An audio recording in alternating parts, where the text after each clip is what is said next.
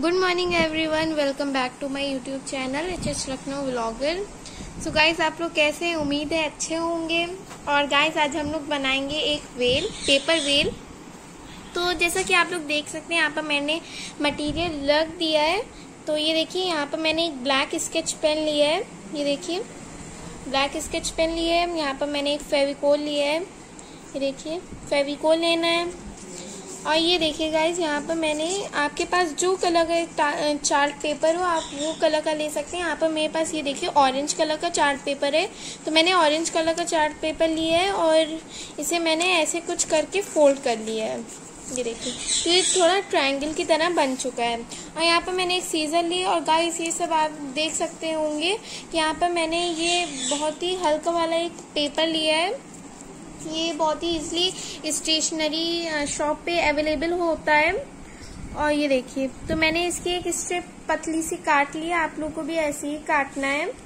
तो चलिए हम लोग अब फिर आगे का स्टेप करते हैं। लेट्स गेट स्टार्टेड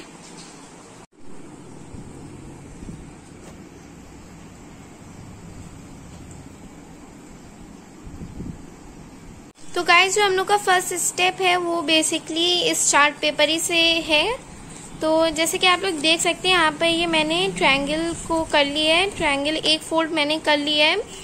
जैसे आपका ये स्क्वायर है, पूरा कटा हुआ पीस ऑफ़ स्क्वायर पेपर तो अब हम लोग इसे ऐसे करके फोल्ड कर लेंगे। अच्छे से आपको इसे प्रेस करना है। तो यहाँ पर मैंने इसे अच्छे से प्रेस कर लिया है।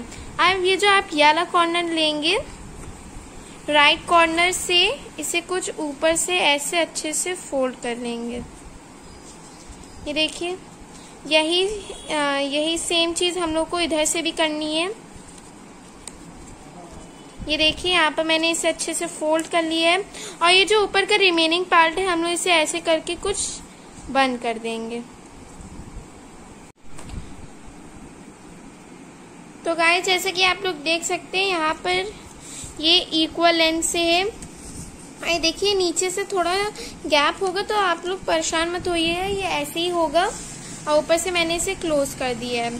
अब जहाँ पर ये जो बीच में एक लाइन है, इसी तरफ़ से हम लोग इसे ऐसे करके फोल्ड कर लेंगे। ये देखिए बहुत ही अच्छे से प्रेस करना है यहाँ से। और ये जो यहाँ से होगा, जैसे कि यहाँ से तो आप किसी भी साइड से, जिस साइड से आप बना रहे हो, उसी साइड से आप यहाँ से इसे कुछ यहाँ से यहाँ से इसे कुछ ऐसे करके फोल्ड कर लीजिए। देखिए, मैंने इसे ऐसे करके फोल्ड कर लिया है। अब हम लोग, मैं आपको फिर से एक बार दिखा दे रही हूँ पूरा। मैं पूरा मेथड फिर से कर रही हूँ। जैसे ये हम लोग का था तो हम लोग ने इसे ऐसे फोल्ड करा, फिर ऊपर से मीन्स यहाँ से इसे ऐसे करके फोल्ड कर लिया। अब हम लोग इस स्ट्रिप को जो हम लोग ने काटा है, अब हम लोग इसे फोल्ड करेंगे। आप लोग को यहाँ पर एक सीजर से कट भी लगाना है।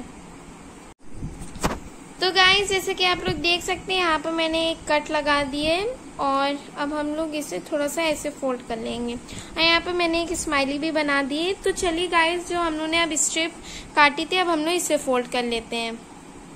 तो गाइस अब हम लोग इसे ऐसे फोल्ड कर लेंगे। ऐसे करके। ये देखिए, ऐसे करके हम लोग इसे पूरा फोल्ड कर लेंगे। तो गाइस जैसे कि आप लोग देख सकते हैं, यहाँ पर मैंने इसे ग्लू लगा के, ये इतना रिमेनिंग पार्ट था तो मैंने यहाँ पर ग्लू लगा के इसे स्टिक कर दिया है। हाँ ऊपर से मैंने ये देखिए कट लगाया है। ये देखिए। और ये हम लोग अब अपनी वेल के एकदम टॉप पे स्टिक करेंगे।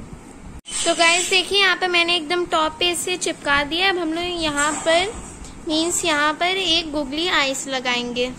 तो गाइस देखिए, यहाँ पर मैंने ये गुगली आइस यहाँ पे स्टिक कर दी है और ये देखिए, कितना प्रीटी लग रहा है। और गाइस अगर आप लोग को मेरी वीडियो पसंद आई हो तो प्लीज़ लाइक सब्सक्राइब और शेयर करना मत भूलिएगा। Thanks for watching